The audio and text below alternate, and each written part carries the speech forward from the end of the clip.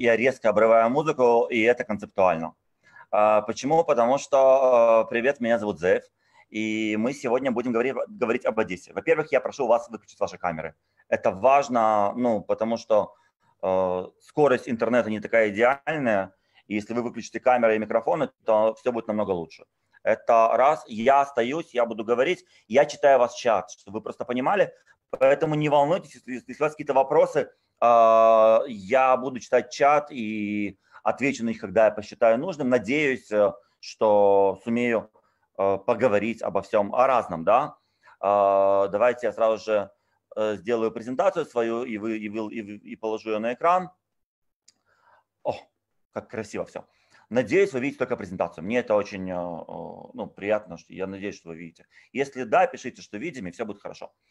А, Итак, друзья, привет. А, Опять же, меня зовут Заев. Я родился в Одессе, живу в Тель-Авиве последние, ну, после в Израиле последние 22 года.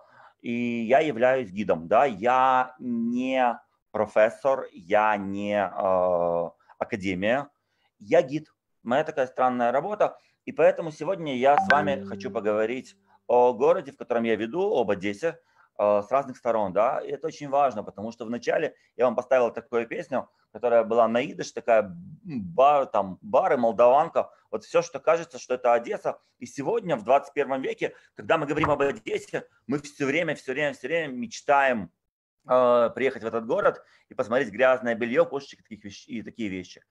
Я сегодня вам хочу с вами хочу поговорить о совершенно другой Одессе. И говорить я буду примерно час 15, я надеюсь. Э, Пишите вопросы и будем болтать э, с вами потом, э, если у нас останется время. Окей, давай начнем сразу же. Одесса. Одесса, если вы посмотрите книги, книги по Одессе времен Советского Союза, рождена в 1794 году и 2 сентября 1794 года заложен город Одесса. Это все просто кажется, но сегодня вообще все меняется. Почему? Потому что сегодня, когда Одесса вошла в территорию э, Украины, ну, она вошла в территорию Украины, понятно, но когда украинские историки и занялись, сегодня пытаются саму историю города Одессы продлить. Продлить ее примерно в 15 века, ну, 15 век, вот куда-то туда. У этого есть ли смысл? Скорее всего, да. Скорее всего, да. И давайте поговорим, как как я вижу смысл. Итак, друзья, карта э, Османской империи. В чем все дело? В том, что Одессу, Одесса рождается в тот момент, когда Российская империя э, отбирает часть земли у Османской империи и, по сути, заклад- там Екатерина закладывает там город. Но давайте посмотрим, что было как бы до. Османская империя очень непростая империя. Османская империя – это империя, которая включает в себя все Черное море. То есть Черное море – это можно назвать внутреннее озеро Османской империи. И там, э, то, что мы знаем точно, находился город Хаджибей. И проблема была такая в прошлом веке, когда историки занимались Одессой, что Одессу только взяли, только заложили.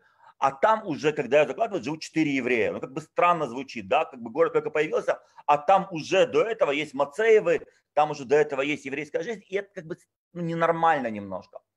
Что происходит здесь? Здесь находится крепость Хаджибей, вот эта крепость Османской империи, которую мы сегодня находим в археологии. Сегодня археологи ее там-сям находят на территории города.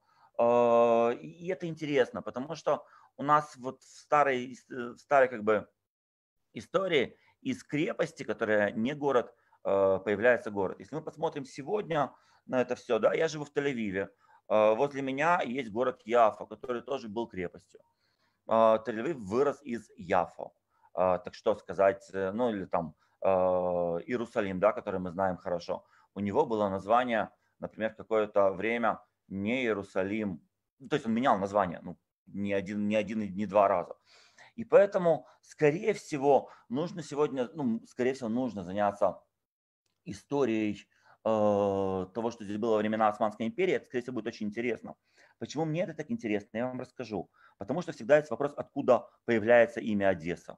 И мы, как гиды, знаем разные легенды вокруг этого, там, от самых странных, где Одесса – это обратное слово Оседова, да, почему-то нужно именно перевернуть, или история, что Екатерина, она, когда говорят про закладку города, она говорит, что какой город тут был, и говорит Одессос, да, греческий. И она говорит, пусть будет Одессо, Одесса, Одессос, но в женском роде. И появляется город Одесса. И то, и то прикольно, и то, и то странно, есть еще многие разные варианты. Но есть еще очень такой непростой вариант, потому что вот эта территория, когда она была в, Османской империи, называлась Едисан. Как бы странно так не звучало. От Едисан к Одессе тоже можно прийти, но так никто не рассматривал. И вот это, это то, что я вам говорю, это не академично, но может быть и к этому тоже придут. В общем, чтобы вы поняли, что если мы поговорим, что Одесса была внутри Османской империи, то есть время, в которое Одесса и Иерусалим на карте находятся в одной империи, как бы странно это ни звучало. Но давайте все-таки будем говорить уже об Одессе после того, как э, ее заложили. И уже, кстати, 10% э, первого города уже в 1895 году э, это еврейское население. Итак, сейчас я постараюсь перевести, перевести кадр. Екатерина, которая закладывает этот город, у нее есть некая проблема. Потому что, чтобы вы поняли, не евреи пришли в Россию. Россия пришла к евреям, как бы странно ни звучало. Потому что и во время деления Польши, деленить Польши, если будем говорить точнее, а, вдруг Россия получает огромное количество еврейского населения, которое говорит вообще на польском, на идыше, а, и даже некоторые из них ну, не поняли, что произошло. Но когда поняли, то есть Екатерина не знает, что с ними делать, был даже такой вариант э, разрешать им доезжать в Москву. Евреи начали доезжать в Москву, депинго, странно, страшно демпинговать. Местные купцы, им это очень не понравилось. И Екатерина заложит то, что потом будет э, чертой оседлости. Да, это еще не называется черта оседлости, это важно, но по сути Екатерина заложит вот эту систему, которая будет потом до революции 1917 года э, в Российской империи. Черта оседлости – это реально мерзко. Я вам говорю честно, это реально мерзко, э, потому что еврей, по сути, не может выезжать за черту оседлости. Если мы посмотрим вообще, как устроена Россия, так там все так, да, потому что и крепостные не могут уходить далеко от того места, где они закрепощены. Если вы вспомните, э, что и когда я был маленький, у нас была прописка. Да, это тоже такая довольно странная вещь. А, но чтобы вы представили, что евреи живут в оседлости, кстати, и Одесса, это выходит город... Ленька, все, хватит разговаривать. Вырубите звуки там, пожалуйста. А, те, кто занимаются. Друзья, вырубите звук, пожалуйста. Спасибо. А, и что происходит, друзья? Одесса наполняется евреями сразу же. Кстати, в Одессу, а зачем, да, зачем нужен, нужен город Одесса, зачем его закладывают? У Одессы есть цель, и это важно. У Одессы цель, с которой закладывают, это перегонка хлеба. Почему? Потому что, по сути, у тебя появляется, у Российской империи появилась Украина, и Одесса становится таким неким вектором. Как это работает? В, Украи... в Одессу со всей Украины гонят хлеб, а потом из Одессы хлеб гонят через Средиземное море по всей Европе. Вот цель города Одессы. Поэтому, по сути, Одесса должна в своей идее расти э, вовнутрь континента. Это прикольно, потому что я живу в городе Тель-Авиве, который тоже должен был в своей идее расти вовнутрь континента к Иерусалиму. Но как Иерусалим, ой, как и, как и Тель-Авив, так и Одесса не выросли вовнутрь, они, конечно, пошли по морю.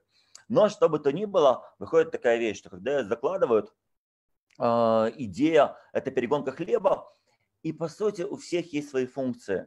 А, главная функция евреев или одна из таких важных функций – это гнать хлеб из Украины в Одессу, а греки, которые идут, а, которые находятся в городе Одессе, они должны гнать хлеб дальше из Одессы по всей Европе, чтобы вы просто поняли некую вещь, что есть некий такой миф, э, очень непростой, что евреи и греки боролись с самого начала там за, за деньги. Не, ну, не совсем так, потому что по сути, вначале греки намного богаче евреев, прям намного богаче евреев, их функция намного э, важнее в данном случае. Просто, как мы видим из истории, зерно, которое гонит Россия, и именно даже не зерно, зерно может быть хорошее, а то, как э, это зерно хранят, э, это плохо, это реально плохо, это некачественно, и поэтому зерно э, наполняется и водой, и оно утяжеляется, и там еще пыль, песок. В общем-то, в конце концов, американцы э, меняют всю эту систему и забирают на себя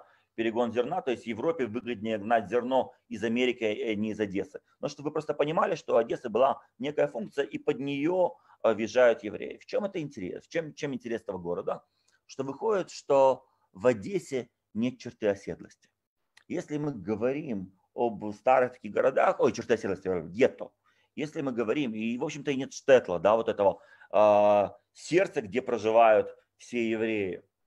Потому что, опять же, если мы говорим о старых городах, то есть вот это понятие местечко или штетл, вот то место, где проживают э, евреи скучно, а вокруг э, проживает э, местное население. В Одессе этого нету. В Одессе население сразу же, сразу же, сразу же перемешивается, и, и это очень сильно влияет, потому что евреи, которые приезжают в Одессу, они с самого начала э, приезжают из э, местечек в город.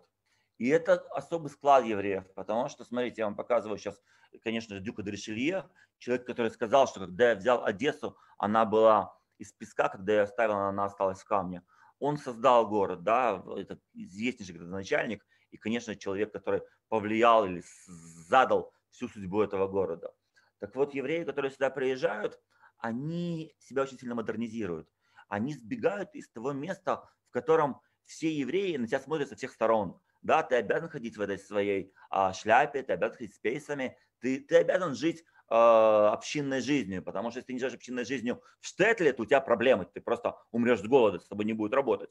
А когда ты приезжаешь в Одессу, у тебя есть свобода. Поэтому многие евреи, как мы знаем, они приезжали, сбривали свои пейсы и отращивали пейсы только когда они должны были уезжать обратно к себе в местечко, или они снимали кафтаны, ходили с пейсами, или они снимали, ну это все было интересно. По сути, чем это интересно, что когда сюда, а, что первый суд, который связан с еврейской жизнью, это избиение равина из Немирова в городе Одессе, который хотел, чтобы а, евреи а, Адук как бы очень сильно исполняли законы. То есть первый суд, который есть по евреям города Одессы, это суд э, избивших э, несущих Божье Слово. Как бы странно это ни звучало, поэтому с Одессой все очень непросто.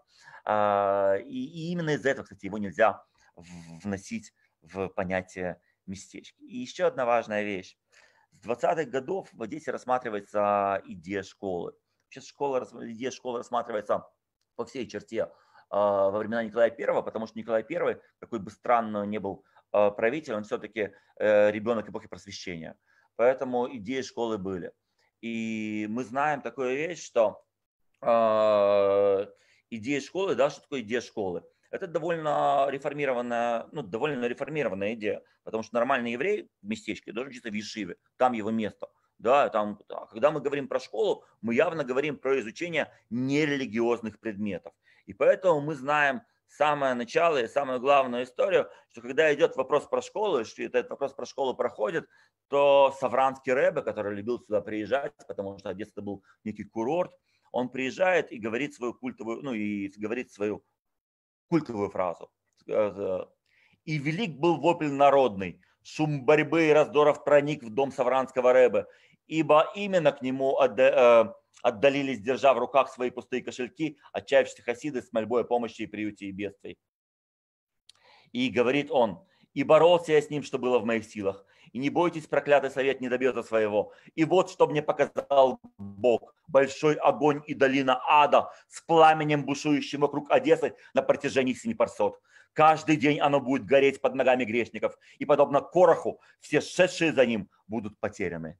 Друзья, добро пожаловать в эти 7 миль или 7 парсот или 7 миль генома, которые навсегда, навсегда, навсегда а, словами Савранского Рэбе впечатаются в историю этого города. И это будет правда, потому что, как я вам постараюсь показать, что Одесса совсем не местечко. И вот эти клейзмерские песни об Одессе, это ну, вот, вот, вот где-то там, в, ну, маргинальная несколько культура для самой еврейской Одессы. А, итак, что мы имеем? Мы имеем город, который, в котором появляется еврейская школа уже в 20-е годы. А, что еще прикольно, что в начале 20-х годов один из русских куптов хочет сделать газету. Ну, нормальную газету на русском языке. И он пишет, что он не может сделать. Почему? Потому что для чего нужна газета? Чтобы давать какие-то новости. Так вот в Одессе всеми новостями занимаются евреи. И поэтому, кстати, из-за вот этих евреев, которые раздают все коммерческие новости, и они, ну, это, это, это их профессия, они как бы невыгодно делать русскую газету. Поэтому мы видим эту проблему с самого начала. И еще очень важная вещь. Господин э, Дюк де создает город. Он создает город. Вопрос, как создать хороший город. А, Дрешелье знает, э, как. А, он создает две вещи. По сути, он закладывает а, истоки гимназии, и второе здание, которое он строит, это здание, ну, давай, оперного театра. Друзья, вы привыкли видеть оперный театр новый, который здесь на фотографии внизу. Оперный театр был старый. Вот Пушкин, который описывает этот город, он описывает в 21 году, в 1921 году, а, старый Одесский театр. Теперь смотрите, давайте поговорим о понятии театр. Сегодня, когда мы говорим об оперном театре, это несколько, ну, атовизм, давайте будем честны, потому что, ну, как вам объяснить? Сегодня, конечно, культура – это компьютеры, э, фильмы в 3D и прочее, и прочее. А в свое время, вот мы говорим про 19 век, оперный театр, это, это и есть фильмы 3D. Давайте подумаем об опере они все э, актеры одеты прям очень красиво, декорации, великолепные декорации и поют, что называется. А в свое время, друзья, если сегодня мы не поем арии из опер, но если вы помните, даже профессор Преображенский напевал арии, а в свое время в, это, в этом-то все, все и дело, что опера это было как сейчас, как сейчас рок-концерт. И поэтому представьте себе, что у вас есть оперный театр внутри города, в котором в оперном театре нет кондиционеров, поэтому окна открыты, а оперный находится в том районе, где живут, где тусуются рыбаки, и поэтому рыбаки в Одессе пели арии из опер. То есть мы видим, что влияние оперного театра очень сильно на этот город. По сути, это ну, странно в маленьком городке построить прям центр такой культуры. Вот это сделал Дюк Дришелье, ну и гимназия как образование, это тоже важно. И вот этот оперный театр, он сыграет свою роль. Он сыграет свою роль в э, еврейской жизни, потому что мы четко знаем, что э, в 20-е годы, помимо различных погромов, которые были, да, в 21 году уже был первый погром, который греки устроили в Одессе, но то, что мы знаем, что евреи, они часто появляются в опере, и часто появляются даже в пейсах и в штраймалах. А, и э, люди возмущаются, что у евреев скуплены все места, и евреи очень энергично приветствуют каждую следующую арию. Ну, потому что для Европы это довольно странновато. Ну, в общем, я хочу, чтобы вы просто представили, что да, да-да-да, это, это, это, это прям э, театр прям повлиял на еврейскую жизнь. Сейчас будем смотреть как, потому что Давайте посмотрим, уже если посмотрели общую одесскую жизнь, так перейдем в одесскую жизнь. Итак, друзья, конечно же, евреи, которые пред вами, кстати, очень хорошие э, две гравюрки, они все время используются. Мне интересна правая гравюра, потому что декольте у дамы, оно, ну, прям очень не еврейское. А рядом с ней молодой, не молодой человек, а человек с бородой и штраймеле. И это очень хорошо показывает вообще, кто пред нами публика совершенно новая и индифферентная, несколько становится индифферентной к религии. Ну и вот вы видите э, две, грави, две гравюры. Гравюра, которая слева, это гравюра э, Большой синагоги в Одессе. Миф гласит, это миф, чтобы вы понимали, он гласит о том, что Дюк де Ришелье был первый, был тот человек, который построил синагогу, ну, который дал даже не дал, а заставил евреев построить синагогу. Потому что э, миф говорит, что купцы приезжали в, го- в город Одессу, они хотели торговать. И когда он спросил, а что вы не торгуете, ему сказали, что евреи не строят синагогу, поэтому они уедут, а то у вас не будет бизнеса. И тогда говорится, что э, Дюк де Ришелье э, заставил евреев построить синагогу. Не такую красивую, понятно, а, но в этом месте. Но в этом месте она э, на этом месте с 20-х годов 19 века. И эту синагогу перестраивают. Почему перестроят, мы еще поговорим, а не почему ее перестроили. Но вообще, чтобы вы видели, как перестроили. Справа от вас ее, можно сказать, а, как говорит доктор Сергей Кравцов, да, я иду сейчас по нему, он занимался этим вопросом глубоко, и он показал, что это синагога, Одесская синагога, синагога города Драгобыча, они имеют одного предка, вот эту синагогу в городе, Кассель, в городе Кассель. А, и это прикольно, потому что Маранди, которые были разные варианты, были разные варианты, как ее построить. Был вариант построить ее по греческому стилю, но ее построили по немецкому стилю. И это прикольно, потому что это показывает. Вообще евреи, синагоги многие что говорят о, о, о евреях. Это всегда вопрос, откуда ты хочешь иметь, ну, откуда ты хочешь показать, чтобы, чтобы тебя видели. Потому что так выходит, что вот если мы говорим о синагогах, которые там в Киеве или в Питере, да, они неомавританские, потому что там была идея у архитекторов построить синагогу и откинуть евреев в Испанию – и показать, что они из того золотого века, и вот новый золотой век. А тут это откидывание евреев в Германию.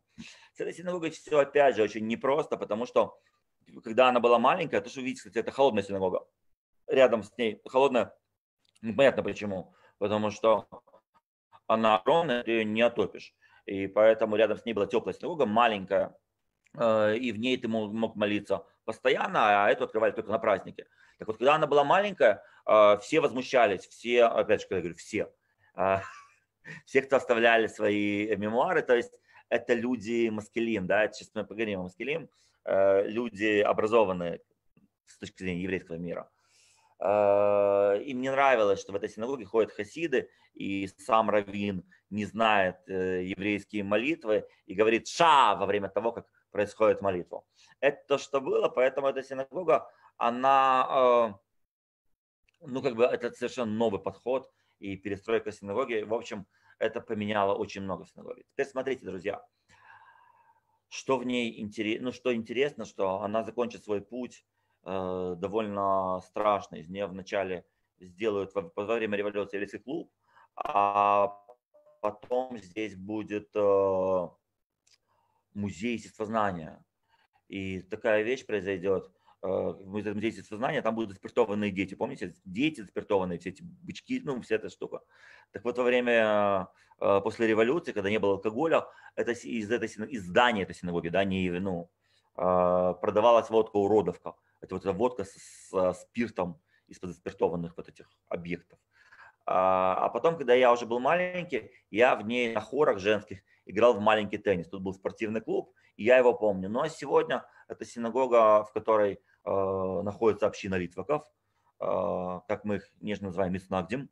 Очень-очень э, неплохая община. Интересно, что, что в свое время это была только синагога, а сегодня они в эту синагогу внесли и магазин, там рядом и миквы, там рядом и школа на втором этаже, потому что синагога делалась подхоральную, они убрали второй, второй этаж, оставили школу. В общем, это интересно, потому что синагога в Одессе сегодня это стал такой некий общинный центр – а, но это синагога, которая является, нужно еще очень понимать, ну, нужно понимать, что она находится на улице Пушкинская, которая прям центр Одессы. Это показывает место евреев, это улица итальянская, по сути.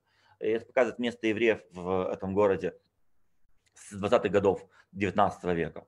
Ну, а теперь, конечно, хочу поговорить об э, уникальной синагоге со всех сторон. Это Бродская синагога. Бродская синагога, и это важная история, потому что сегодня это архив, и каждый человек, который хочет поговорить об, э, найти, да, я не помню, даже архив даже сносят, это второй вопрос, но кто-то, кто хотел найти свои еврейские корни, должен был туда обратиться. Теперь чем эта синагога интересна? Потому что она показывает, как вообще, что, что произошло с Одессой. Первое, как я сказал, одесситы, которые приезжают, это те, кто приезжают на бизнес и все остальное. Но в это время Одесса – это граница с Черным морем, а где-то там, не где-то там я там был, находится город Броды. Город Броды – это ни много ни мало Австро-Венгрия. Австро-Венгрия – это э, город, в котором э, ну, произошло очень интересная вещь, потому что вообще 18 век, он, он, он прекрасный с точки зрения еврейской мысли, потому что если до этого еврейская мысль была религиозная, то в 18 э, веке она меняется, да, и начинается э, некая вещь реформирования этой мысли, которая сегодня э, перешла в разные вещи, да, сегодня часть из евреев из этого реформирования стали такие, как я, полностью нерелигиозная, что вообще было в свое время представить ну, мало возможно. А есть реформирование мысли на идеях Мендельстона, просто такая европезация еврейской мысли. И поэтому то, что видите, это то, это э, то, что сюда принесли немецкие, это австро-венгерские, это ну, немецкие евреи. Они приезжают в Одессу для того, чтобы делать бизнес. Это логично, потому что там граница, здесь граница, и это удобно делать бизнес. Но тут есть школа, и это хорошо, и э, тут есть культура, и это хорошо, и они здесь остаются. То есть Дюк Дришеле сделал гениальную штуку. Он дал что-то, чтобы люди оставались. И они решают построить здесь синагогу. А, кстати, я, ошиб, я ошибся, я сказал чушь. Синагога центральная, она находится на еврейской угол э, Ленина, хочется сказать, э, Ришельевской. Я на квартал ошибся, но поверьте мне, на квартал не очень сильно. А вот эта синагога на итальянской. Я ошибка, ошибка, ошибка. У тех, кто дослушали до этого, знаете. Так вот, э, и Бродская синагога решает, и община из города Броды решает построить себе синагогу. Она решает построить себе э, синагогу, и, во-первых, это первая синагога по э, немецкому образцу. Это, что, ну, это, это, это новое в Российской империи. Для Российской империи э, вид такой синагоги, он прям, ну, вау, чушь, это прям очень прогрессивно. Во-вторых, они строят синагогу, и они в ней продают места. Сегодня это логично, что в каждой синагоге ты заходишь на праздник, и ты видишь там э, место купил то, место купил тот, место купил тот. А в свое время это ненормально. И поэтому, друзья, эта синагога, она настолько, она очень прогрессивна для своего времени. Конечно, женщины и мужчины находятся на, в, на разных уровнях, но что еще важно, что э, в, этой, на этой, в этой синагоге на, на биму, да, молиться, ты не можешь выйти без э, цилиндра.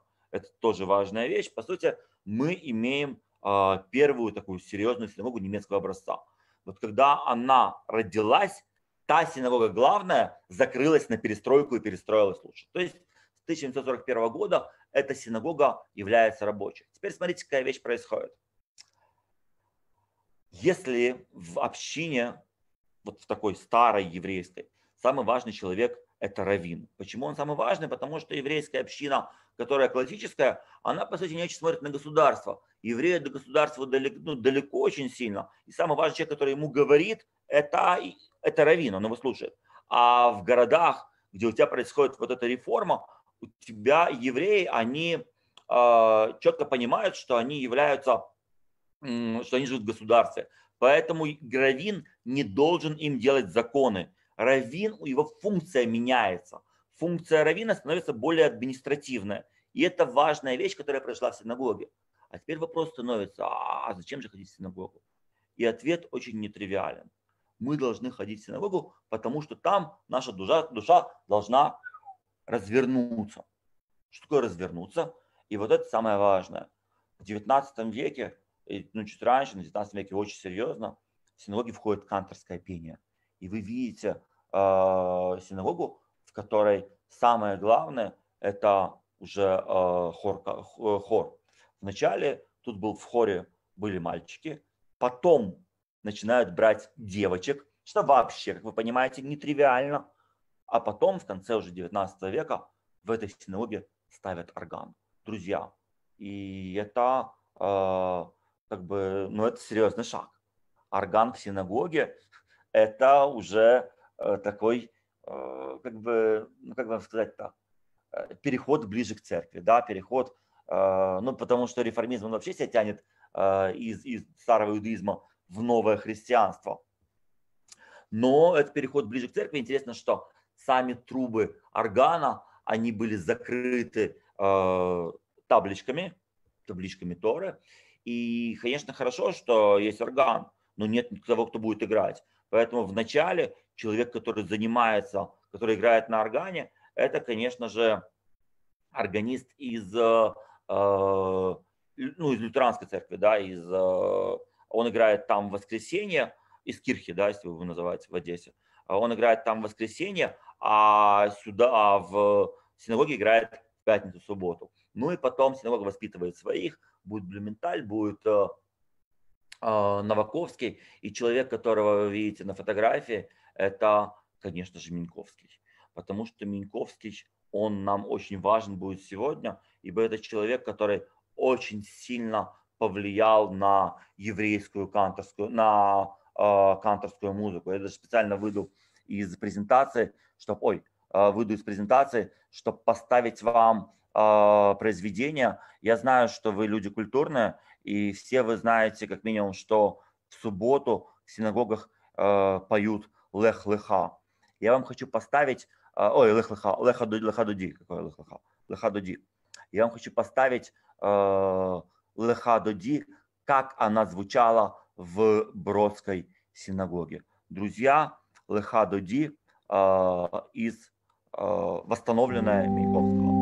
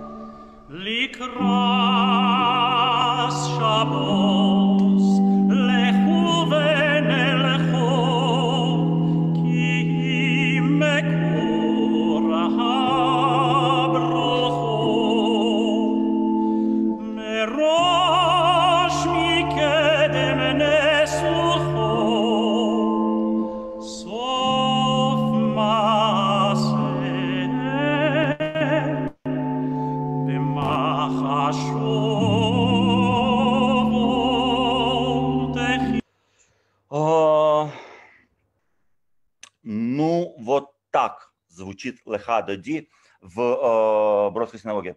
А, Михаил, я вижу, что вы мне написали, что да, в немецкой синагоге, да, я, опять же, то, что вы мне пишете, я никогда не видел э, информацию, которую мне даете, я не против проверить, да, мне написали, чтобы вы просто, ну, не все будут читать, а те, кто в Фейсбуке не будет читать, я хочу, чтобы, мне, чтобы вы понимали, что мне написали, что в Бродской синагоге орган был изначально, еще орган был в Шалашной синагоге в конце 19 века, инструмент установили в главной синагоге, где его использовали на Хануку.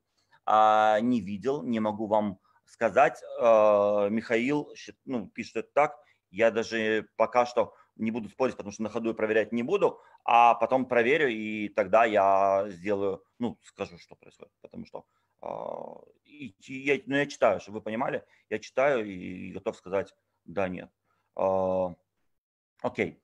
А, поэтому, что вы видите? Во-первых, видите большое влияние все-таки э, оперы, да, на, понятно, э, на, ну, не только оперы, да, я, я говорю оперы, я потому что чту из города Одессы, но э, духовно-христианское пение понятно. Э, и интересно, что э, Миньковский, он э, был кантором э, синагоги Бродской, да, он был кантором в главной синагоге в какой-то момент – и я его встретил два раза в Америке. Когда я гулял по Нью-Йорку, э, я его встречаю в 90-е годы в Америке, где он поет в Lower, на Lower Side, а в 20-е годы он все-таки умудрился на старости лет э, переехать в Нью-Йорк и стать главой канторов, в, глав, ну, главой канторов в, Нью, в Нью-Йорке. Поэтому были женские голоса. Я уверен, Михаил, я читаю, ну, нет, я, я уверен, уверен, уверен, уверен, уверен. Окей. Тут я все-таки, все-таки есть где-то, где я очень уверен. Окей. Тран, таран, таран, таран. И это, друзья, то, что видите, это э, прогрессивистский иудаизм, да, и прогрессивистский иудаистский, и прогрессивистский реформистский, я сейчас не буду в это, в это вдаваться, но чтобы вы просто поняли, это, да, прогрессивный иудаизм.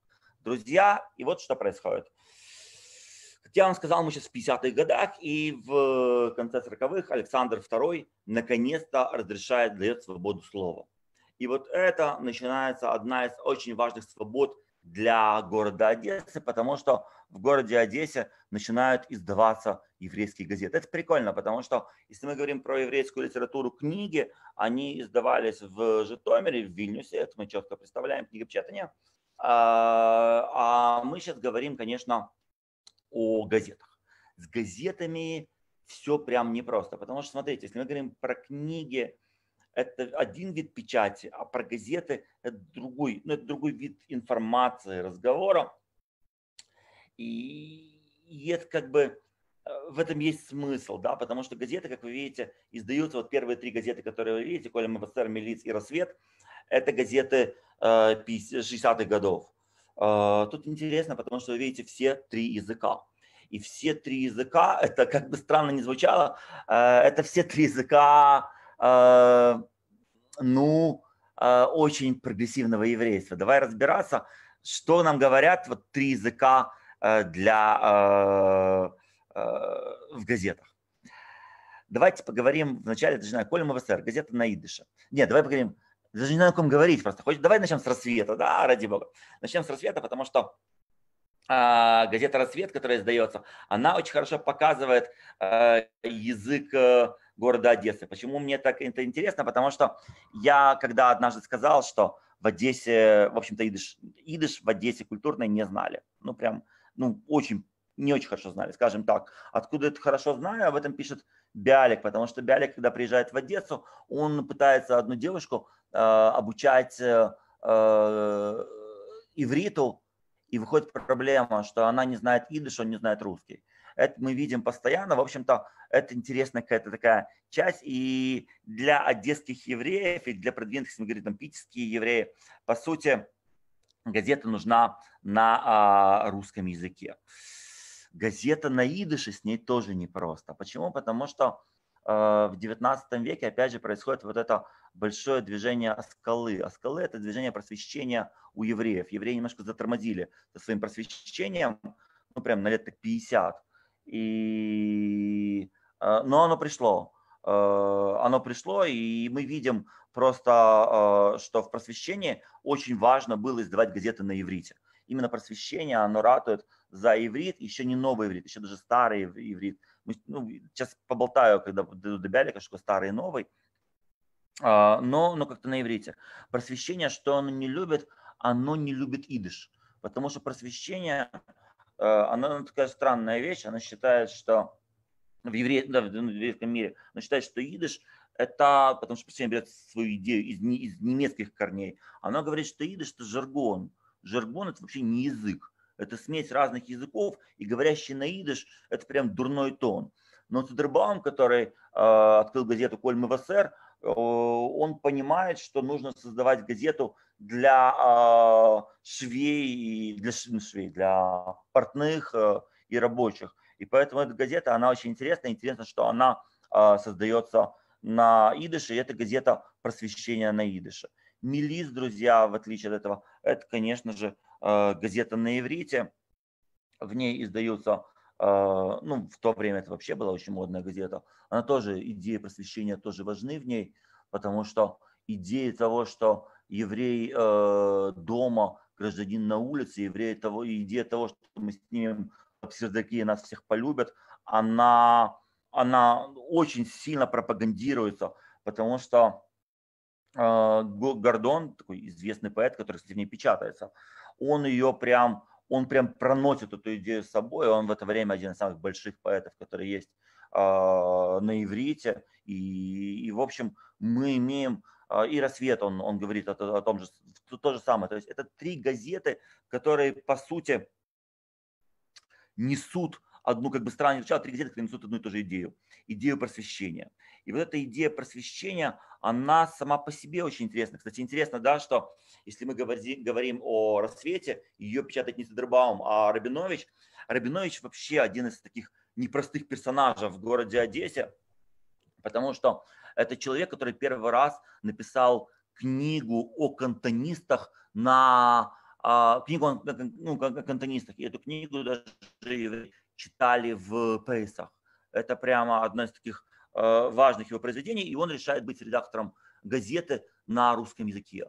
Просвещение это вообще, то есть штука, которая вот называется просвещение, она выходит в массы, и все прям очень хорошо. И мы видим, что в этот момент, да, в момент Александра II на пике просвещения э, появляется организация ОПЕ. Это организация по несению просвещения среди евреев.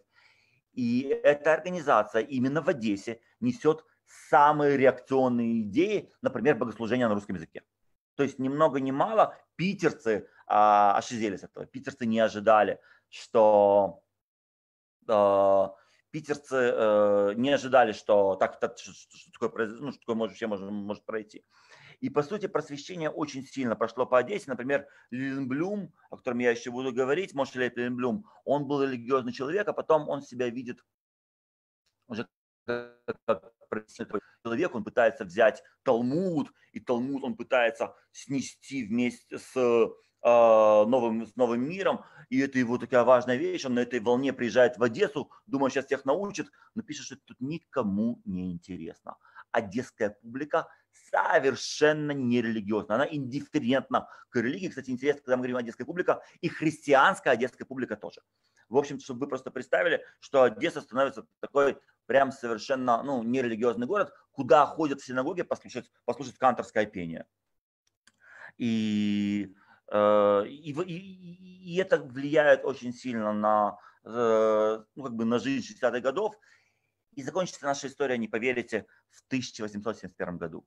Потому что в 1871 году в Одессе происходит погром. Это, кстати, фотографии погрома, э, погром поздних, ну, фотографии или рисунки, зарисовки более поздних погромов, потому что этот погром, он э, не очень сильно изучен, и он не очень сильно, э, ну, как бы не очень, о нем не очень много говорят. Это погром 27 мая 1971 года, э, за 4 дня погрома, это прям очень много. Э, убито 6 человек, 21 ранен, э, там что-то 800 с чем-то домов 800 домов, 60 домов разрушены, а, серьезный ущерб. И это страшный погром. Никто не ожидал, потому что просвещение должно было стать простой вещь, что я вот сейчас прям приду к тебе, русский народ, и я сниму свои, свои штраймелы, и мы полюбимся. А тут выходит, что мы не полюбились вообще. И как бы я ни снимал свои штраймелы, русский народ отнесся с индифферентностью к этому погрому, который его, его, его никто не ожидал. Он был как гром среди ясного неба. И именно этот погром в городе Одессе за 10 лет до погрома 82 года, которые э, ну, известны очень сильно в литературе, он повлиял на то, что будет подготавливаться а, к 80-м годам новая волна.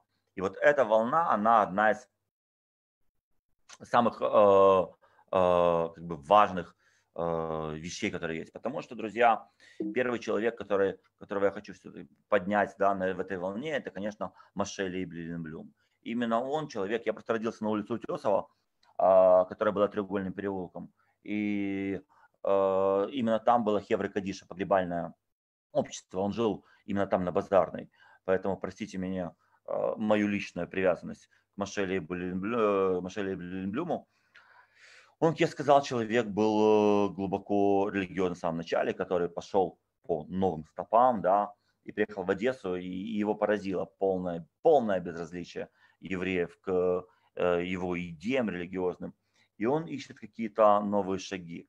И вот его новые шаги, это тот станет, это станет человек, когда в 81 году э, отсюда будет уезжать белуйцы, э, они были из Харькова, они приезжали через Одессу, они хотели увидеть только одного. Машеля Блюма. Они говорят только о нем. Он является некая икона, человек, который поднял новый вопрос. Вопрос о Палестине и вопрос о еврейском народе. Он прямо человек, который работает в Еврокадише, много не получает, он не будет никогда удачный человек, но э, его, опять же, он, правда, создает, да, или он э, переводит на иврит пьесы настолько, что их показывают, ну, не настолько, а Зурбавель, это то, что э, в, в его языке. Э, то есть это очень интересная, то есть это, как сказать, пьеса Зурбавель, она провела, произвела огромный фурор в, э, в Палестине 19 века.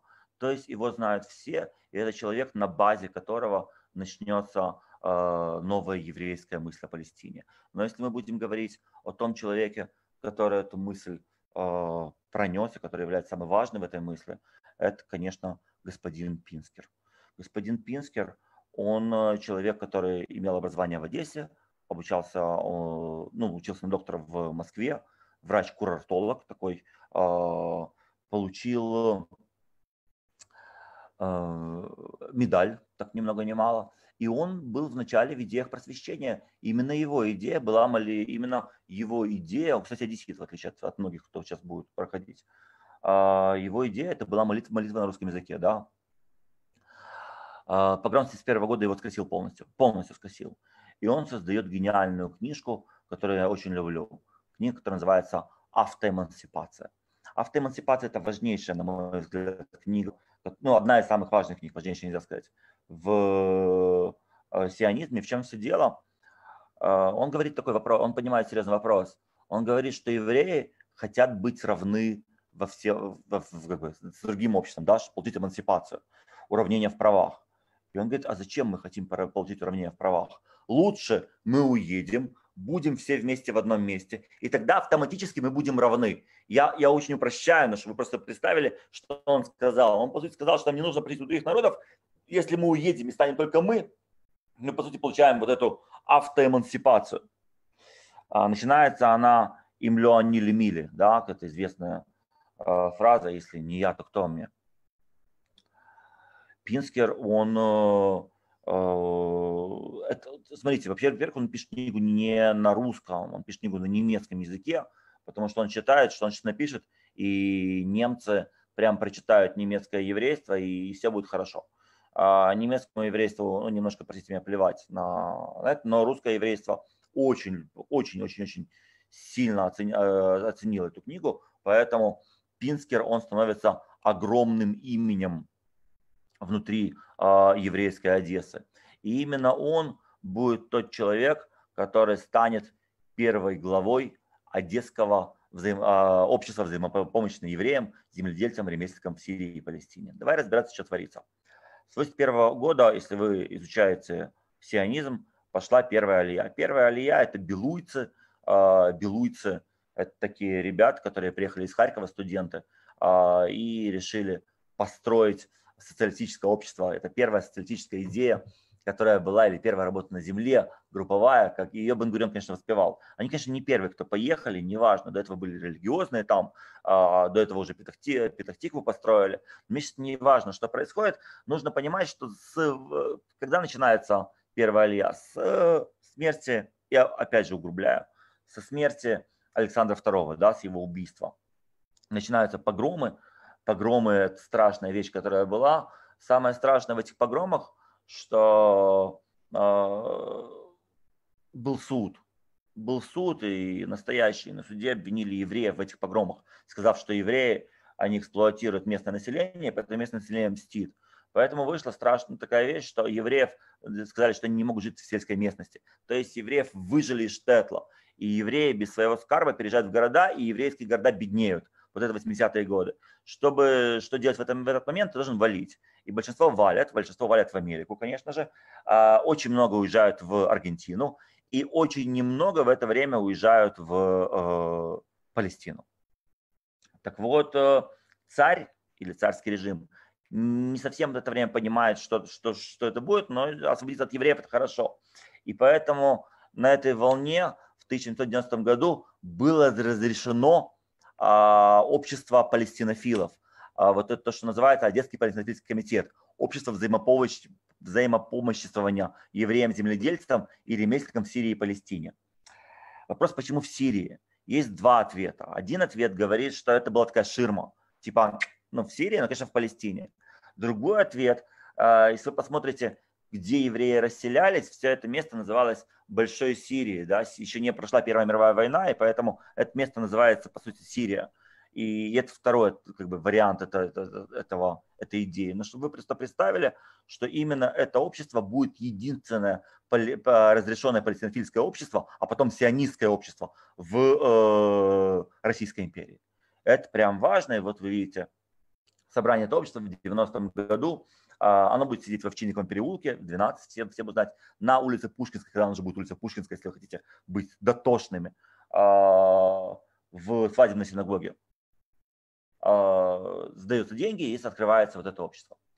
Я недавно был в сионистских архивах и смотрел, чем оно занималось, как оно раскидывало деньги. Это, очень, это действительно очень интересная вещь. У нас есть в архивах в Иерусалиме, все они в Еврейском университете, кстати, а, несколько томов, да, несколько лет, когда ты видишь все споры этого Одесского полицейского комитета в 90-е годы, годы начала 2000-х. И ты видишь, как они дают деньги на Бицалель, как они дают деньги а, на а, поселения разные, ну, там на учителей, прям, а там, а там огромную, ты видишь просто огромную работу, которая идет.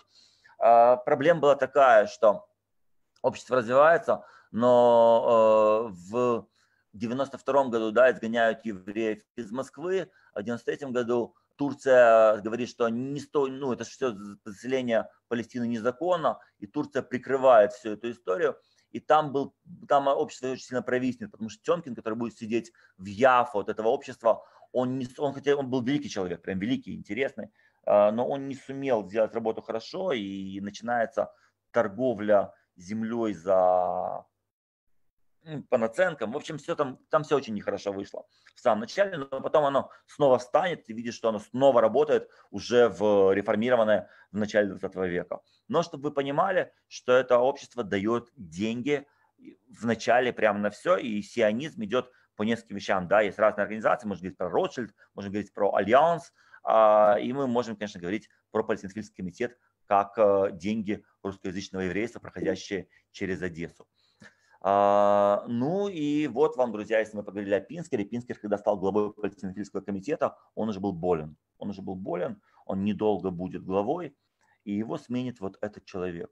Друзья, знакомьтесь, Гинзбург или Хадаам, он очень непростой человек.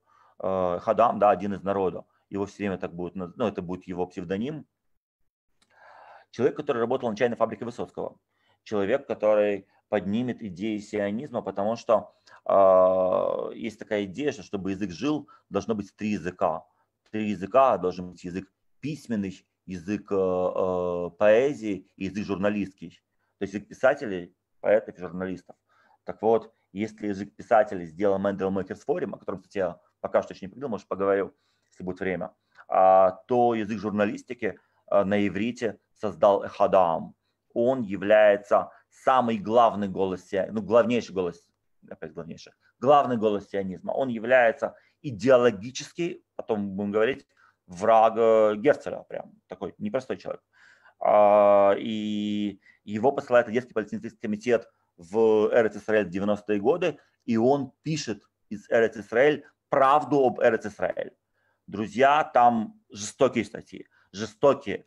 Он пишет все, все в лицо, как неправильно идет, как неправильно идут за деньги, как деньги даются непоступательно в разные вещи, почему они теряются. Он человек, который будет говорить всю боль, он будет хлестать просто этот э, э, ранний сионизм. Э, и, и, и он, когда приедет, понятно, что он будет уже глава, э, глава Палестинского комитета. Э, журналистика его будет продолжаться, он будет, э, интересно, как Герцль появится, да, Герцль, его же идея какая будет? Это будет э, политический сионизм. Политический сионизм – это идея создания государства. Да? Он никогда не будет, кстати, Герцель вообще не будет думать с 1997 года, когда он создаст первый сионистский конгресс, э, он не будет хотеть, он не хочет, чтобы евреи ехали в Палестину. Почему? Потому что они незаконно идут в Палестину. Его идея, чтобы мы создали государство, а потом законно приехали. Правда, ему никто не дает. И это такая стала большая проблема. Хадаам придирает Герцеля, прям реально придирает. Мы это видим по, опять же, по Бялька, который работает под Хадаама. И он говорит про Герцеля, что самая главная книжка Герцеля, или одна из главных, это Альтнойленд, его утопия. И Хадам говорит, он говорит, написал Альтнойленд, потому что видел Альтнойшул, Альтнойшул, в Праге. Он говорит, что Герцель не знает ну, евреев, и он создатель духовного сионизма. Это тоже прикольно, потому что если мы говорили с вами о Линблюме, то он создатель как бы действенного сионизма, потому что Линблюм говорил, что лучше купить одну козочку в Палестине, чем построить две школы в Одессе. А э, Хадаам говорил, нам нужны в Палестине души, нам не нужны в Палестине тушки. Его идея – это создание духовного сионизма. Вот то, что я сейчас с вами говорю о сионизме, это прям намного больше э, идея Хадаамовская, чем Герцелевская, например. Э, и, и это интересно. Просто он действительно такой очень непростой голос. К сожалению, мы его сегодня, ну прям забыли мы его. Это, это наша большая проблема. Сегодня Хадама знает, ну, по фотографиям вообще никто. А в свое время это был один из важнейших э, людей в нашей жизни. И именно, Эхада, и именно что происходит, именно Эхадаам или под его управлением в Невецедеке строится школа. Вот эта школа, которую вы видите, школа для девочек в Невецедек. А, человек, который слева, это Симха Бенци, он папа величайшего художника а, Гутмана.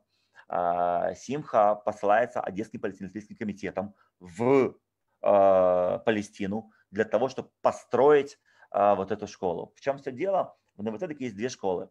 Новоцедек – это еврейский район в Яфо. Это не Тель-Авив, да, чтобы вы понимали в то время. А, и там, кстати, две школы. Школа для мальчиков, которую строит Альянс Израили, это французы. Французы, они ассимилянты, поэтому мальчики учатся на французском языке. А эта школа, а, это школа, друзья, а, Одесского палестинофильского комитета. Поэтому тут преподают для девочек на иврите. И это прикольно, потому что это создание того, что называется мифаля Циони, да, сионистской вот этого э, фабрики, не знаю, как назвать так красиво. Э, это создание матерей для будущих еврейских детей. Э, поэтому, чтобы вы понимали, именно как бы, и вот, вот что делает Одесский палестинский комитет. Кстати, интересно, что они потом в какой-то момент, э, будет встреча, которую они там организуют, и э, они в Зихране, они там создают две организации – а одна из них, организация учителей, она повлияет до сегодняшнего дня, она влияет на педагогику, ну как бы она создала из Тадрутом Мурим, что вы представляете с педагогикой, это все начинается, опять же, с Одесского палестино-фильского э, комитета. Вот вам, что это такое. Ну и, конечно же, э, в какой-то момент в Одессе оказывается вот этот человек, человек, о котором стоит поговорить, он, опять же, не из Одессы.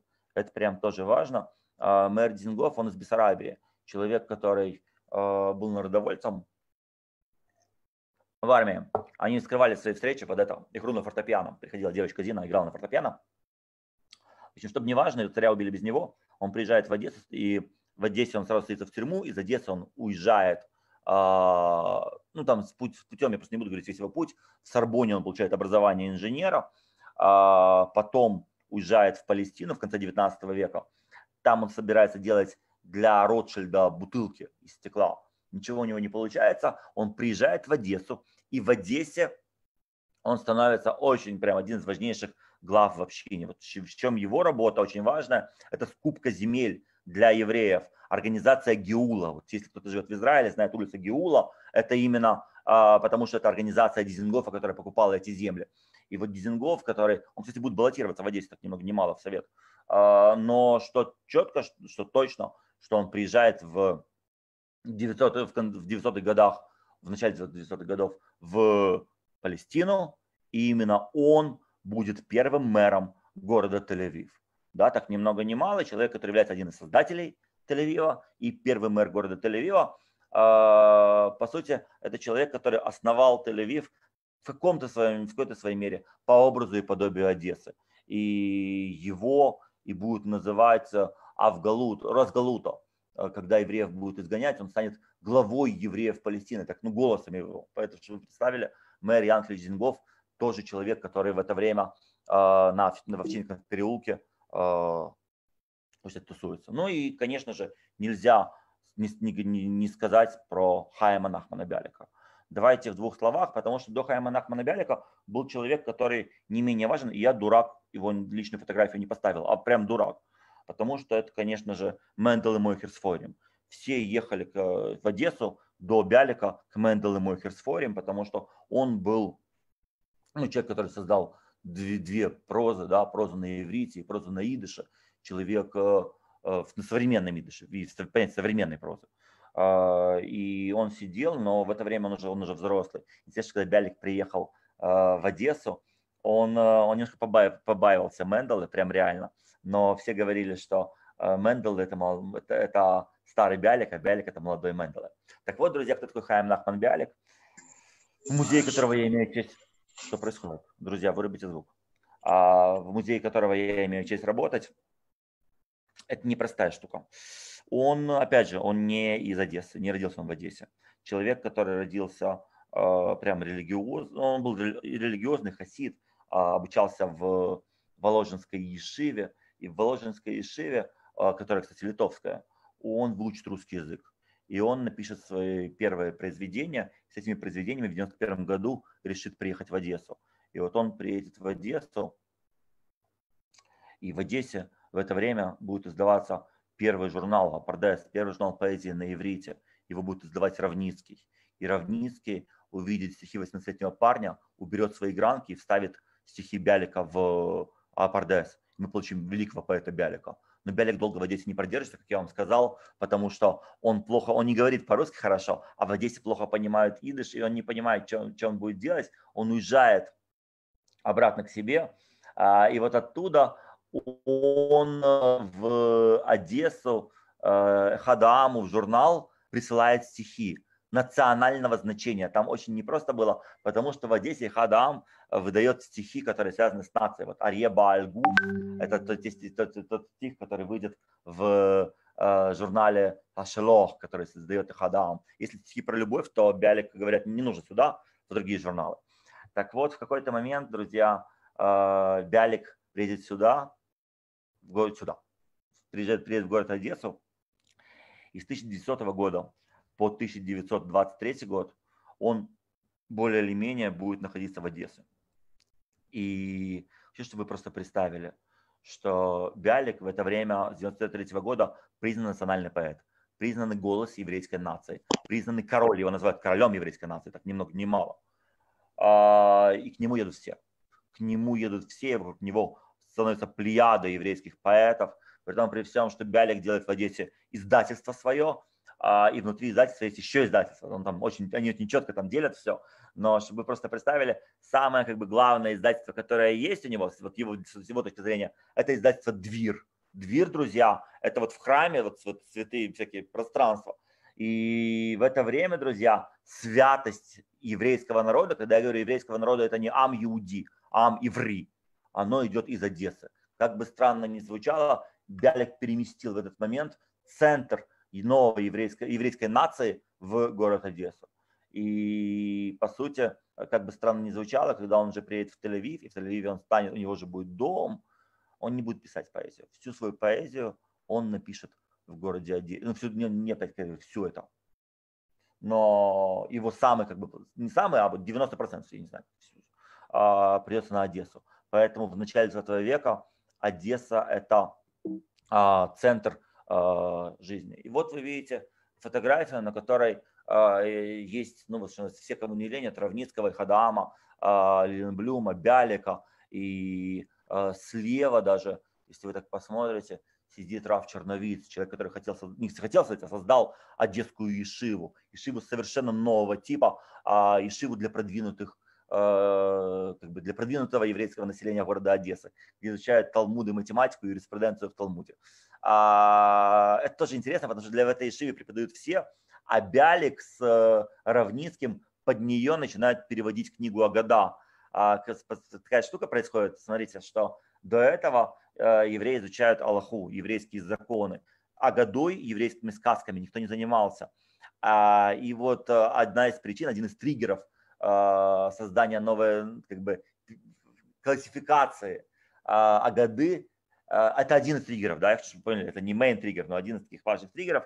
Это именно э, курсы Бялика, которые были в Одесской Ишиве, и он под них создает вот это, ну, под них как бы начинается создаваться никогда, она будет долго создаваться, поверьте мне, еще, еще очень долго будет создаваться.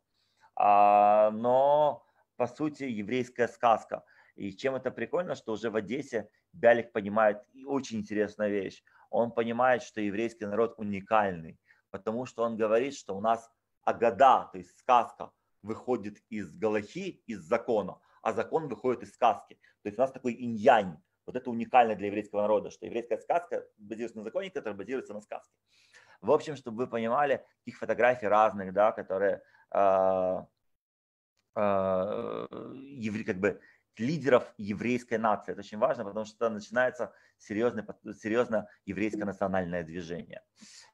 А, в общем-то, а, вся наша история, по сути, должна закончиться, ну, так бы закончиться в кораблем Руслан, потому что в 19 году, да, дальше будет революция, если мы говорим в 20 веке, дальше начинается революция, которая продолжается еврейскими погромами, а, и э, так вышло, что из Палестины в в Одессе оказались беженцы. И этих беженцев было 140 с чем-то человек. А, в какой-то момент, когда Палестина уходит под британский мандат, а, они просят вернуться. Когда их спрашивают, сколько, им говорят больше 500 человек. Подделывают, просто подделывают документы, и из Одессы отплывает корабль, которым занимается Одесский палестинофильский комитет. И более 500 человек уплывают из э, Одессы. Друзья, чтобы вы просто поняли, этот корабль – это все ДНК будущего Израиля. Мы говорим э, от поэтессы Рахель, которая нечаянно оказалась в Одессе перед, перед Первой мировой войной. И, кстати, Рахель, она первая, кто, первая, где она печаталась, это была Одесса, чтобы странно, так весело звучит. Недавно найдено Герой Грудевым э, ее первое, первое издание. А, в, потом уезжают э, э, архитекторы и уезжает Барух Гадати, уезжают все, кроме, короче, кроме Бялика. У Бялика болела родственница, он был в это время в Киеве. А, и, друзья, этот корабль, который отплывает в ноябре, чтобы на третью свечу э, в Хануке прибыть в Яфо, этот корабль, он станет Мейфлауэром. По сути, это будет настоящий Мейфлауэр, потому что, друзья, поймите, что Первая мировая война, она закончила Алию, и евреи не приезжали туда. И тут, друзья, вдруг, вдруг приезжает огромное количество людей, которые повлияли потом на Израиль. Это, это будет корабль, который будет, а, ну, прям в мифе на долгое время. Он запомнится как еврейский Мефлауэр. Опять же, мы его сегодня не помним. И, ну, правда, столетие, а, столетие Руслана пришло, и его там как-то праздновали. Я вот помню, видели это все. Ну, теперь смотрите, самое главное, самое интересное, что этот корабль, его Э, встречают в Яфо э, Усышкин не потому, что там есть все остальные люди, не потому, что там есть Рахель, а потому, что там сидит этот человек. Кого вы видите? Вы видите господина Йосифа Гидалю Клаузнера, человека, который э, ну, он большой человек, но он назвал Бялика национальным поэтом. Он является в свое время важнейшим критиком. Если бы вы были в 40-е годы, жили бы в Ишуве, вы бы учились по его критике. Он такой э, Чернышевский наш. А, это человек, который, он и критик, он и э, занимается а, и, ну, и как бы иудайкой, я даже не знаю, как это назвать, а, текстами именно, текстами. Он э, пишет о, о Христе, историю Христа, он прям на иврите. Он прям очень интересный человек, и в то время его, он с собой везет библиотеку, да, он потом будет работать в университете, так ни много ни мало, еврейском чтобы вы просто представили, опять же, имена одесситов, мы вот, вот смотрите, я говорю Клаузнер, но опять же, немногие из вас Клаузнера э, где-то слышали о нем как минимум. Теперь смотрите, есть серьезный вопрос. Вот я вам рассказал какую-то историю, а есть вопрос, а почему мы ее не знаем? Тем более вот вам верх этой истории, да, чтобы вы, опять же, интересная штука. Эта фотография сделана в Тель-Авиве, тут сидят Бялик и сидит Хадаам. Они сидят и курят. Э, чтобы вы просто поняли, что Бялик получает свои улицы в Тель-Авиве при жизни. При жизни называют улицу Бялика. И Хадаам получает свои улицы в Тель-Авиве при жизни. При жизни Хадаам живет на улице Хадаама, а Бялик живет на улице Бялика. Друзья, в первом еврейском городе. Вы просто представили, это история, которая, опять же, сегодня она исчезла. И это серьезный вопрос, который меня все время гложет, ну уже не гложет, но который мне был очень интересен, почему вдруг мы забыли, как не вдруг, а почему как-то это стерлось. Один из людей, который, к сожалению, к сожалению, к сожалению, он сам не знал, что, что, что это превратится, но он очень сильно повлиял на то, что история одесского вот этого еврейства, одесского вот этого сионизма сотрется, это Менахем Усышкин.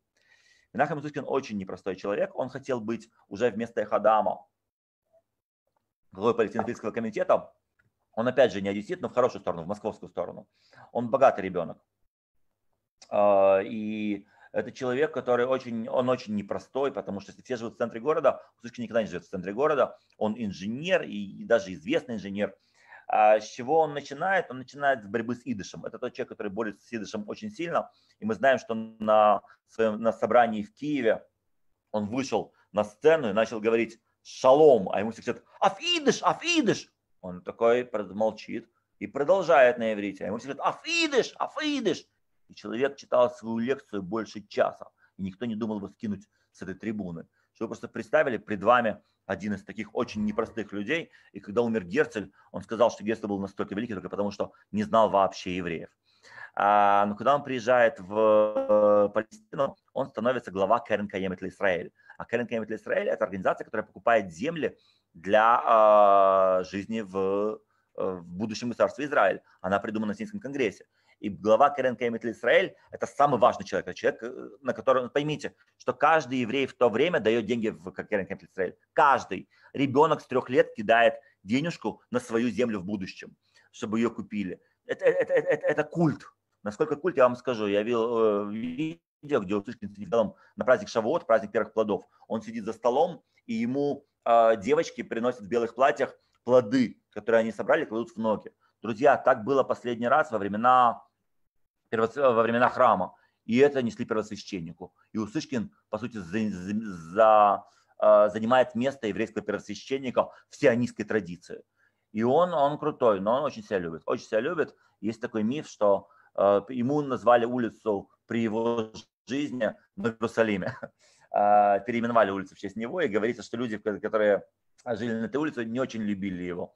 И поэтому каждый э, вечер они сбивали э, табличку с э, именем Усышкин, а каждое утро он ее прививал. Это легенда, не, ну, это не важно, чтобы вы просто понимали, как они о нем говорят. Но что мы точно знаем, что он срежиссировал свои э, похороны.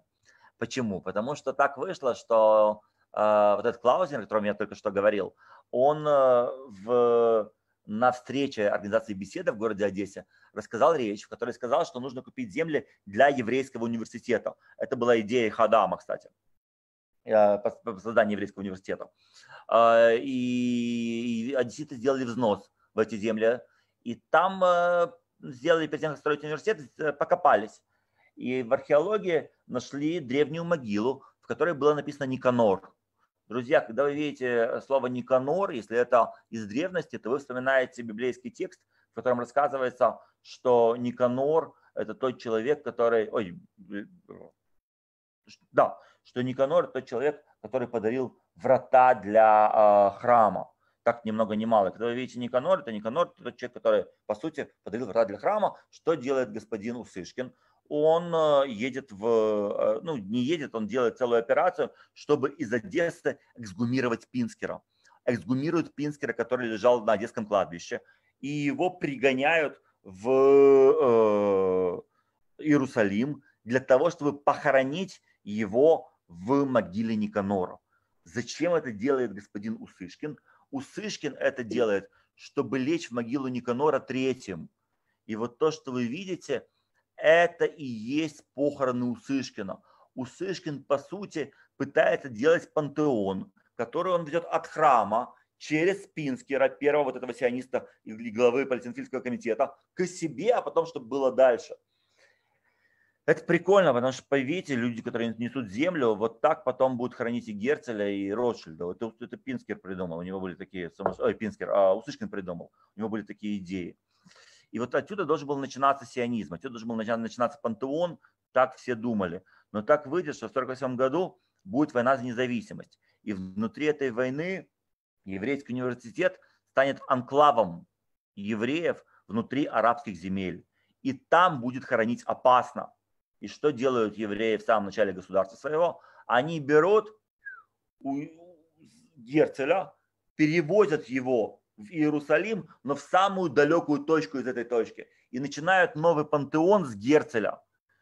Не бывает двух пантеонов. Для человеческого сознания не бывает двух пантеонов. Поэтому сегодня пантеон Пинский Русышкин забыт, заброшен со всей историей, которая есть, а пантеон начинается с господина Герцеля и дальше. Поэтому сегодня так вышло, да, история так сложилась. Э, эти евреи, это такой аппендикс, как бы странно не звучало, но я вам рассказал, что это было. И вся эта история, друзья, она э, была бы полная, но я забыл или специально не сказал э, об одном человеке, о котором хочу сказать отдельно, потому что без него невозможно, вот в это могилы, а, потому что без него невозможно понять одесское еврейство. Все люди, о которых я вам говорил, они все приезжие, они все приезжие, но не Владимир Заев Жаботинский. Владимир Жаботинский – это не то, что исключение из правил. Он одессит внутри всех них. Я вам расскажу, почему так я вижу. Потому что есть очень хорошая работа, которая была написана об Одессе, называлась она «Воспоминания об Одессе». А, это такая работа, где сделана статистика о воспоминаниях, и там есть такой вопрос, сколько воспоминаниях о неевреях есть вот в мемуарах людей, евреев, которые живут в Одессе. Друзья, у всех там почти нету вообще никаких воспоминаний о неевреях, кроме Жаботинского. У Жаботинского, вот если там 2-3, то тут у вас сотни. Почему? Потому что люди, которые приезжали сюда не э, э, одесситы, они приезжали из местечек, они знали идыш, они жили в своей буа, в своем мыльном пузыре, и поэтому, и когда вы читаете их, там вообще нет нееврейского населения, потому что они с ним даже поговорить не могли. И вот эта уникальная штука, вот эта буа, она прям закрытая, в которой что-то варится, но оно не, не сталкивается с самой Одессой. Жаботинский вообще нет. Жаботинский получил нормальное детское образование. Жаботинский, в отличие от этих людей, не боялся ни евреев. Да, вот это вот то, что Бенгурион, он прям боялся не евреев. У него э, к неевреям было прям, О! а Жаботинский нет. Он совершенно нормально относился к городское население. Он вообще евреев узнал, когда Виталий уезжал. Он увидел это вот первый раз там на, на, на переездах у этих евреев мрачных. Э, мрачных. И, и он вообще даже постеснялся вначале но э, он, он непростой человек. И нужно понимать, он, он либерал в чистом своем виде, который, внес, ну, который нес с собой итальянские идеи либерализма и национализма. Человек, который писал в одесские газеты о театрах, человек, который, да, он был, был блогер сейчас, писал вскользь. Вскользь и есть реальный блог, да, такой, что не, глубоко говоришь. Э, сальные шуточки, он человек, который Чуковский как бы э, знал, что Владимир внес меня в русскую литературу. А, ну, все очень непросто, но в 1905 году поменяется. После погрома в Одессе, который был страшный погром, страшный погром, а, Жаботинский уйдет в поиски национальной идеи. И это человек, который, в отличие, а, ну, он начнет заниматься, да, он сменит имя, но у него было имя Зеев, Владимир это есть Зеев, да, Владимир это Велвел, Велвет ЗФ. Но и он идеей станет Зеевым Жаботинским. И в Первую мировую войну Владимир Зеев Жаботинский э, организует отряды погонщиков мулов. Это потому что его идея будет в том, что евреи должны своими руками, он, да, и Трумпельдор, что евреи должны своими руками захватить, взять свою землю. И интересно, что э, Владимир Зеев Жаботинский, он э, создать организацию Битар, которая будет для меня так важна, потому что организация Битар – это попытка создания еврейского дворянства. Если вы подумаете, это действительно, там, если вы почитаете, что он пишет, его идея, чтобы они даже не брали деньги у других людей, чтобы никому не были должны. А, и он попытается сделать вещь, которая называется ревизионизм в иудаизме, он скажет, в сионизме. Он скажет, сионизм бывает разный, да, сионизм бывает сейчас а, религиозный, социалистический, коммунистический, коммунистический меньше, кстати. А мы должны сделать ревизию сделать сионизм изначальный, сионизм, вот как, как он должен быть. И это человек, который будет, у них будет очень непростые отношения с Бенгурионом, о них можно говорить отдельно много лекций, но Бенгурион его будет ненавидеть, называть э, Владимир Гитлер. Хотя, смотрите, стоит ли его почитать? Конечно, стоит почитать э, Жаботинского, потому что без Жаботинского никак э, не понять Одессу, и вы прочитайте пятеро. Я вам расскажу одну небольшую вещь. Сегодня Одесса умирает, потому что Одесса стала Одессой Бабелевской. Да, так вышло, что Бабеля разрешали читать, и рассвет, ой, закат Бабелевский, он э, стал важнейшим произведением. А Бабель, если вы подумаете, при всем, что такое Бабель, он пишет об Одессе дворов, он пишет об Одессе бандитов, да, он, он, он, именно это его текст. А когда вы читаете Жаботинского «Пятеро», это Одесса салонов, это Одесса философских разговоров, это, это другая Одесса. Только так вышло, что Жаботинского запретили. И э, баланс Одессы, он ушел в сторону двориков. И поэтому вы приезжаете в Одессу, вы, к сожалению, ее, хочется сказать, вы не видите, э, потому что вы видите только ее э, ну, очень-очень-очень э, маленькую часть, и эта часть, которую Бабель ну, он как бы, хочется сказать, что воспел, он ее придумал, он ее создал. И поэтому Одесса, на мой взгляд, и умирает из-за Бабеля, потому что закат – это трагедия, это реальная трагедия, ну прям. Но трагедия не может быть два раза трагедией, поэтому первый раз это была трагедия, а сегодня, друзья, эта трагедия, к сожалению, читается как фарс. Когда в Одессу приезжают люди или там говорят, ой, что это у вас за Одесса? Это звучит человек, который а, живет в Одессе, ну, жил в Одессе, или понимает, что это за голос, а, очень-очень странно. И, и это проблема, что в Одессе нет Жаботинского, да, не, ну, нет. Кстати, интересно, что а, как бы то ни было, Жаботинский, у него есть произведение, которое называется «Моя Одесса», и заканчивает он это произведение, которое прям с любовью к городу написано, что они сделали из э, Северной Пальмиры Южную Калугу перепахали ее плугом и засыпали ее солью. И Жаботинский пишет о смерти этого города, как бы то ни было. Да и Жаботинский, жизнь его была непростая, потому что ему британцы закрыли въезд в Палестину, без которого он не мог вообще э, жить. И он умрет в 1940 году в Нью-Йорке, в лагере Бейтар с двумя долларами в кармане. Э, и его Бен-Гурион не даст хоронить в Израиле. И пока Бен-Гурион будет у власти, Жаботинского не похоронят. Чтобы вы просто представили, его похоронят только когда Бен-Гурион сойдет. И вот похоронят уже с почестями, понятно. И интересно, что он внесет новую вещь. Если до этого в пантеоне на горе Герцеля хоронили только важных людей самих, то Жаботинского хоронили со своей женой. Как бы странно, он и тут внес свою моду.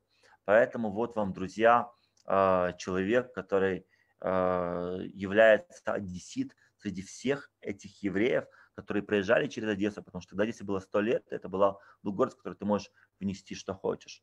Вот вам, друзья, что такое одесское еврейство, ну или фрагмент его, потому что об одесском еврействе можно говорить о разном. Я не поднял тему катастрофы, потому что я понимаю, что я не поднял, но после этого, кстати, город сменился полностью, потому что после катастрофы здесь осталось 500 евреев. И, и даже я, как, как человек, который родился и вырос, я уже не та Одесса, о которой я вам говорил. Вот, друзья, немного, что я хотел вам сказать об Одессе. А, я вас читал, я знаю, что я не прерывался на ваше чтение. Да, где-то Масаоза, Клаузнер, брат Йосифа Клаузнера, верно, верно, верно. А, роль у Сышкина в перезахоронении скорее отрицательная. Позвони, расскажу. Окей, готов позвонить. А, вам удалось оживить отцов основать. Спасибо большое. Могло ли быть... Друзья, спасибо вам большое. Я сейчас читаю. Давай, Борь, ты пока говоришь что-то, а я да, почитаю здесь... вопросы, ответы, и ты иначе выходит как-то глупо. Спасибо вам большое. Огромное, огромное спасибо вам за такую интересную э, лекцию. Действительно, Э, даже я вдруг э, понял очень много вещей, которых я забыл, так как я вырос с 9 лет в Израиле, как бы мы учили эту всю историю, первая Алия и так далее, но почему-то оно никогда не связывалось с, Оде, с Одессой, с которой я знаю. И поэтому огромное спасибо за вашу лекцию. Я хочу напомнить, что э, эта лекция – это часть из лекции, которая называется «Интересный зум», инициатива Музея диаспоры и э, э, Центра еврейского образования САПИРа. У нас будет в среду также следующая лекция. Вы можете каждый понедельник и среду, вот сейчас в, чате мы скинули вам линк на э, Facebook страницу Музея диаспоры. Каждую понедельник и среду в 7 часов э, вечера есть лекция на разные интересные темы, касающиеся еврейства и израильского общества. Э, и мы сейчас также скинем вам небольшой опрос. Нам очень важно узнать ваше мнение, так что если вы сможете его заполнить, вот мы скинули вам в чат опрос. Большое спасибо, Зев. Друзья, Прочитал комментарии. Я, ну там, там нет, если вам какие-то вопросы мне, я, я буду жить здесь, я, Facebook у меня открытый, а, пишите, я буду отвечать. Сейчас я не вижу каких-то вопросов, которые, ну, я читал по походу там какие-то вещи, смотрел, но спасибо вам большое за, за то, что слушали, спасибо вам большое, что вас тема это интересует. А, люблю вас, всего вам хорошего. Больше спасибо большое, что дали мне возможность поболтать. А, ну и все остальные Э, лекторы, они прям, во-первых, друзья, во-вторых, очень интересные люди, и приходите, будет много чего интересного. А, но я надеюсь, что увидимся уже в музее диаспоры, когда он будет работать, будем гулять и там по разным диаспорам. Спасибо вам большое, всего хорошего. До свидания.